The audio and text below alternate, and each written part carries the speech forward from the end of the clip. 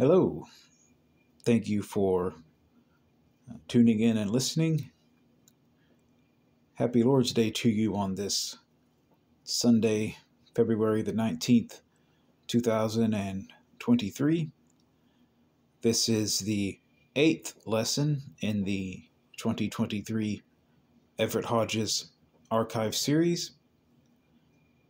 This is a lesson from Sunday, February the 24th, 2007, and it is titled Jesus' Unfinished Work.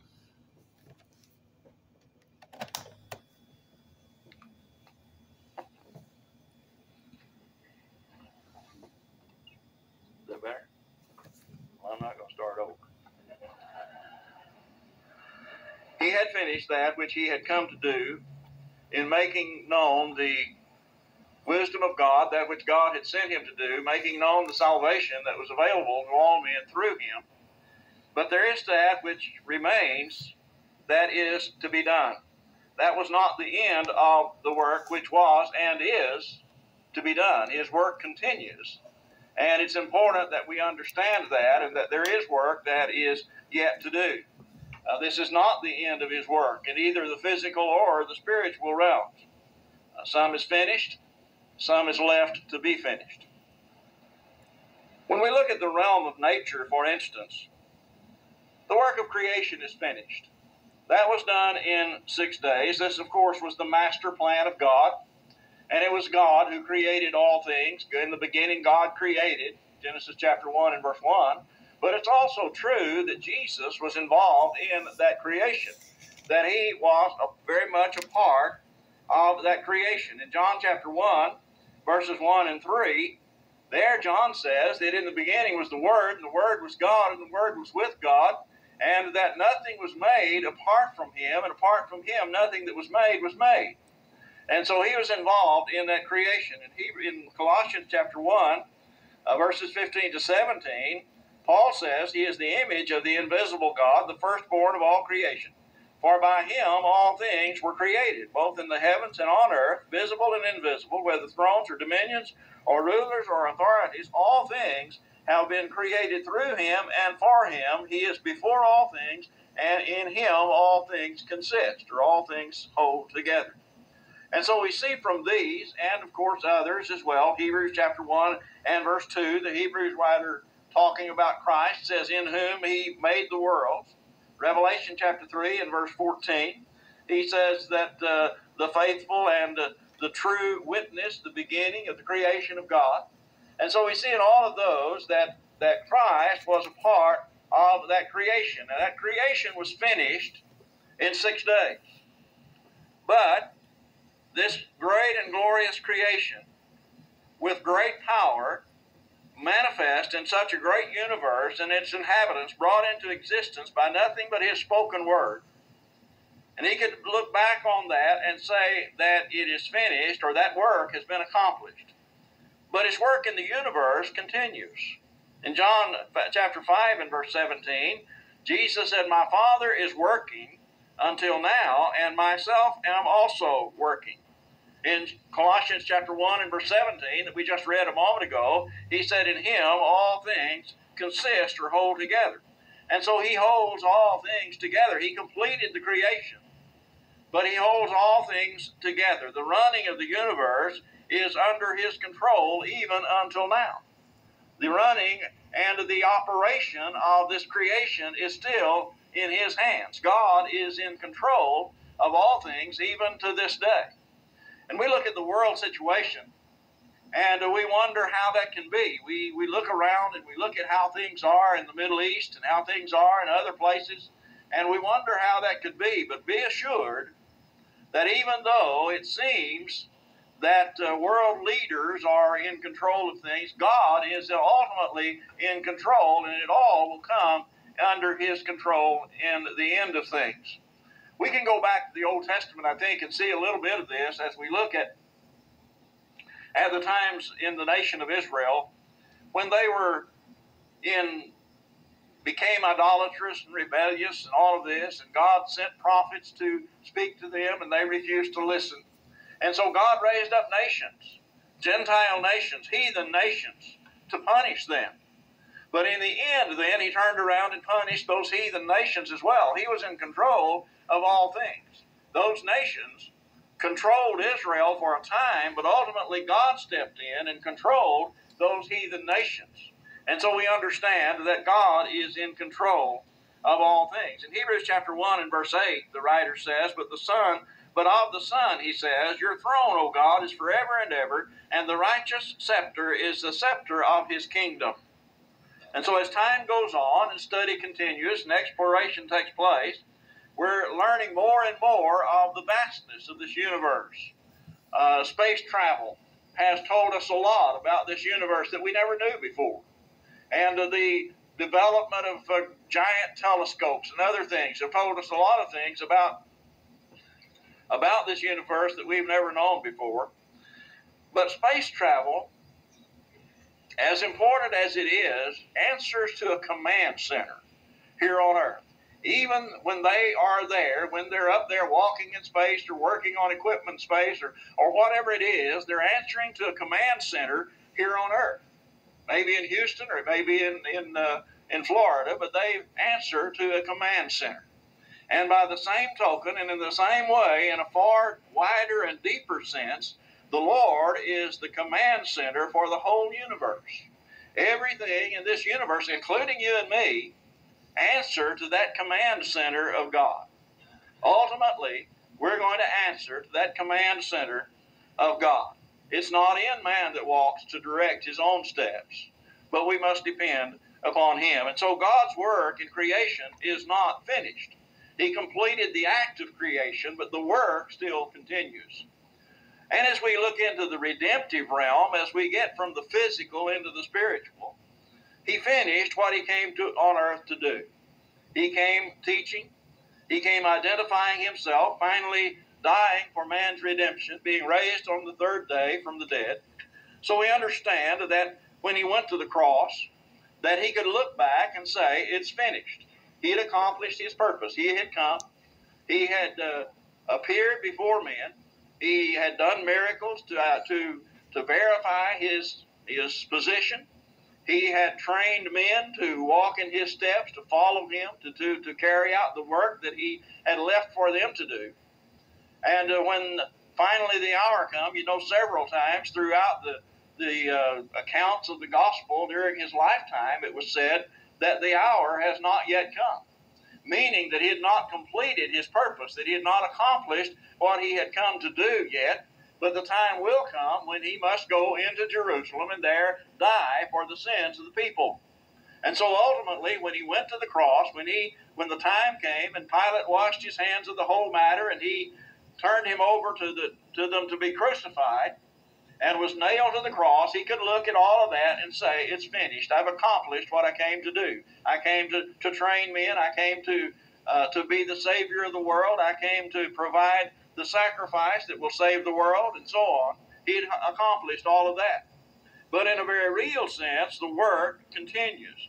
In Mark chapter 16 and verse 20, after the giving of the Great Commission on, in, in Mark's account, when he said, uh, that uh, go and teach all nations, and he that believeth and is baptized shall be saved. In Mark chapter 20, um, chapter 16 and verse 20, it says, And they went out, that is, the, the apostles went out and preached everywhere, while the Lord worked with them and confirmed his word by the signs that followed. Notice carefully, the Lord worked with them. And so, even though on the cross he could look and say it's finished, his work continues. And he continues to work with those apostles. Now, the book of Acts is a commentary on that passage as Christ's work continues through the apostles. In Acts chapter 9, for instance, in verse 10 and following, Ananias, when this is the story of Saul of Tarsus that we talked about this morning. And Ananias the preacher, the Lord appeared to Ananias the preacher, told him to go to Saul who was in the city and to preach to him, teach him the gospel. Ananias didn't much want to do that because he had heard of Saul, knew about his reputation for, for uh, persecuting Christians and so on. But the Lord said, Go.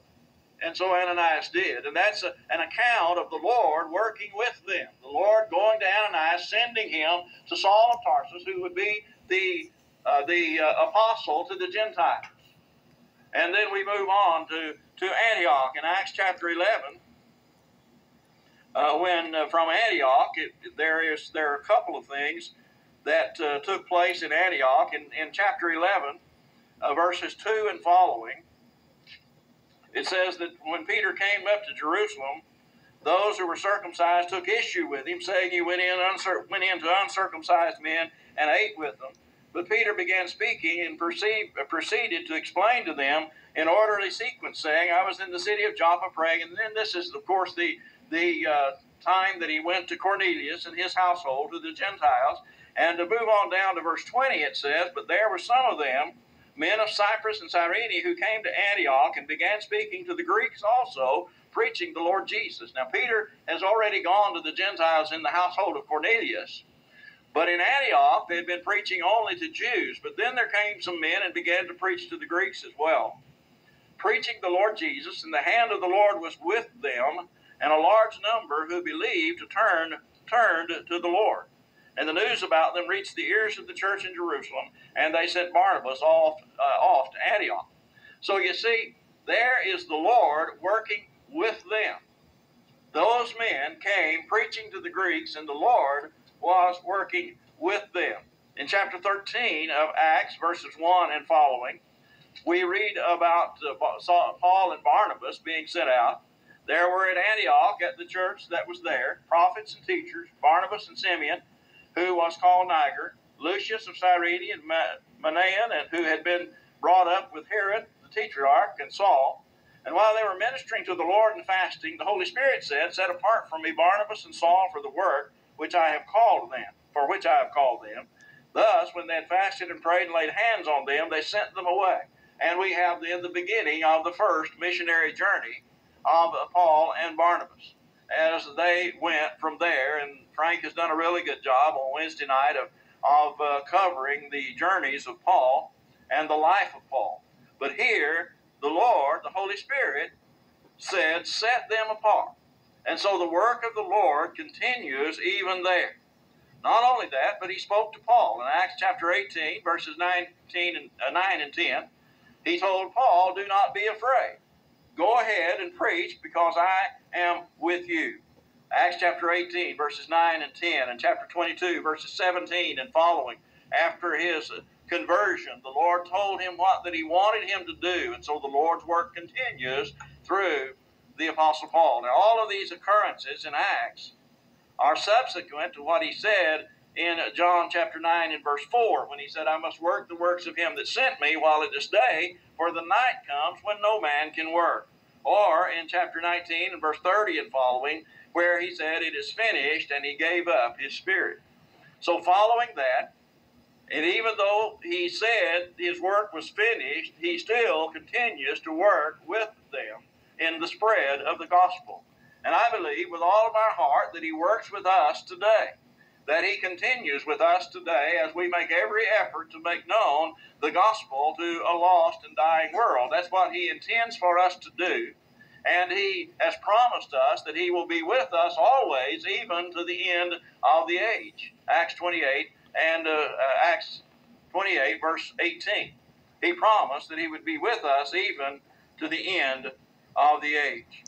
And so, as we think about that, and then we look a little bit further at some conclusive proof that his activity would be concurrent with the gospel age even into eternity. And we've just cited Matthew, uh, uh, not Matthew, Acts, Matthew chapter 28, verse 20. I'll get it right in a minute. Matthew chapter 28, verse 20, when he said, Lo, I'm with you always, even to the end of the world. That must have been wonderful words to those men who are about to set out on a mission, a mission of spreading the gospel to a hostile world. Men who are about to go into the world as he had commissioned them to do, to go to Jerusalem, and then to Judea, and then to Samaria, and finally to the uttermost parts of the world. Going into a world much of which is going to be hostile to what they're going to have to say.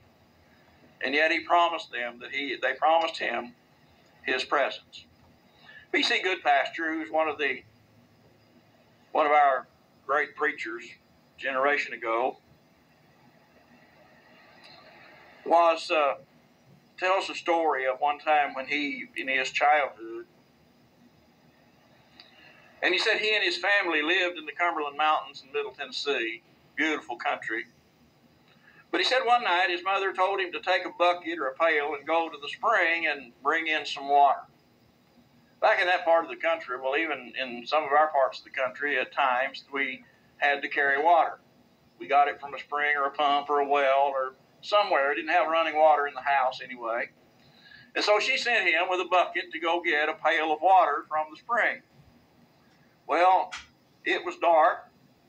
As a young boy, Goodpasture had seen snakes in the in the path between there and the spring, and so uh, he was frightened. But his dad noticed his apprehension about that, so he got another pail and he said, Come on, son, we'll get two buckets. And he went with him, and his apprehension vanished. And he felt comfortable in doing that. He erased the trepidations that he had on, as a, a, child and thinking about those sta- snakes, and, he, and his thinking was, My father will be with me, and so I'll be safe. Now, isn't that the way that we feel with our Father, our Heavenly Father? When we know that He is with us, we know that whatever lurks, whatever whatever hidden things there may be, whatever hostilities we may face, whatever difficulties we may come across, that our Heavenly Father is there, and that He is with us, and He and His Son are going to protect us in that way. And so that pro- precious promise continues in His ongoing work. And so, as we preach the gospel, though we may run into opposition, there may be difficult times, there may be hostility that we'll face. We know that if we're preaching the truth, and if we're carrying the true gospel to a lost world, that the Lord is going to be with us and He's going to work with us in accomplishing that. I'm not talking just about preachers, I'm talking about we as Christians who have that responsibility to, to take the gospel to the world. Now, it's true that the Great Commission was given to the apostles, but in telling them to teach, to observe the things that they were commanded, we know that it also then becomes our responsibility. Not that we all have the responsibility to stand here in a pulpit like this, but we all have a responsibility to make known the gospel of Jesus Christ. And as we carry out that responsibility, we can be assured that Christ will be with us. In Acts 2 and verse 47, as we cited this morning, the Bible says that the Lord added to the church daily such as were being saved. That word Lord occurs 110 times in Acts, and 75% of the time it refers to Christ. Every time a soul is saved, he adds that saved soul to the church. And he would add you today. If you're one of those who is not yet saved, he would add you to the church this day if you were obedient to the gospel, as we mentioned, as we talked about this morning. And he continuously reigns. he continuously reigns at the, at the Father's right hand. Acts 22 uh, and verse 33. Acts 2, verse 33. Uh, Peter said that he's exalted to the right hand of God. Chapter 7 and verse 56, as Stephen is stoned, and as he looks uh, into heaven, he says that he saw the, the Son of God standing at the, at the right hand of God. It's Hebrews chapter 1 and verse 3 that we've already cited. 1 Corinthians chapter 15, uh, verses uh, 24 to 28, where Paul is talking there primarily about resurrection. But in verse 20 to 28, he says, Now Christ has been raised from the dead, the first fruits of those who are asleep. For since by a man, death comes death, by a man also came the resurrection of the dead.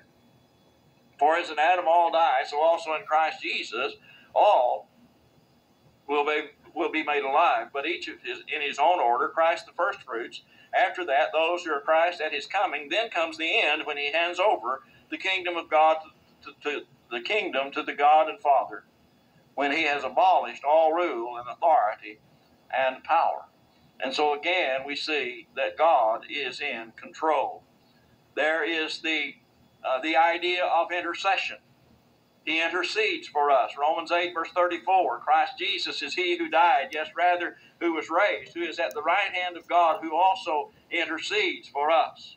Hebrews chapter 7, verse 25 He always lives to make intercession for us. And he continues to be our advocate. 1 John chapter 2, verses 1 and 2. If we sin, we have an advocate with, with the Father, Jesus Christ, the righteous. He represents our case in the court of heaven. He stands as our advocate to, to be the go between, the intercessor, the intermediary between us and God as we separate ourselves from God by sin. What better advocate could there be? God and man. That representation is on the merits of His blood, not on the merits of what we do, but on the merits of His blood. You know, when we look for an attorney, when we have a difficult, something difficult, have to go to court, we need an attorney, we look at their credentials. And we look not only at their diplomas and other things that uh, in the way of education, but we look also at their reputation. And we look at some of the things that they have done and some of the people that they represented, and we, we take a good hard look at their represent at their uh, credentials before we go and hire them to be our advocate. Well, when we look at the Lord Jesus Christ, we know that we have the greatest advocate that we can find because He gave His blood for us. Uh, his advocacy is based on His blood. If we walk in the light as He is in the light, then we have fellowship with one another, and His blood cleanses us from all sin. 1 John chapter 1 and verse 7. So it's important that we understand that. He is ever our mediator. 1 Timothy chapter 2 and verse 5, there's one God and one mediator between uh, the man, Jesus Christ. Now, many may intercede, but only Jesus can mediate. He stands un- uniquely between God and man. Well, there are many other things that he continues to do or will do. He'll come again. He'll raise the dead. He'll execute judgment. All of those things are future and yet to come. In Revelation chapter 7,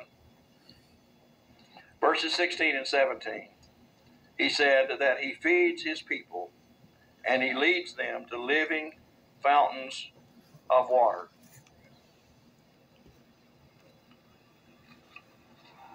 Revelation chapter 7, verses 16 and 17. They will hunger no more, nor thirst any more, nor will the sun beat down on them, nor any heat.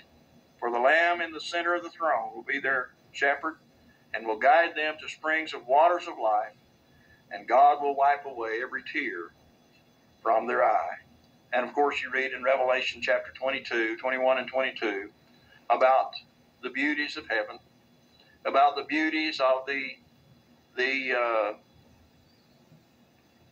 complete cleansed church in eternity,